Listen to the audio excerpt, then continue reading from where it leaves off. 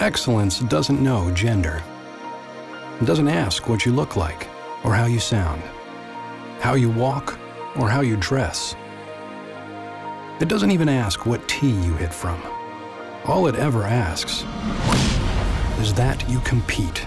For over a hundred years, we've supported women's play, and every year at our championships, they play.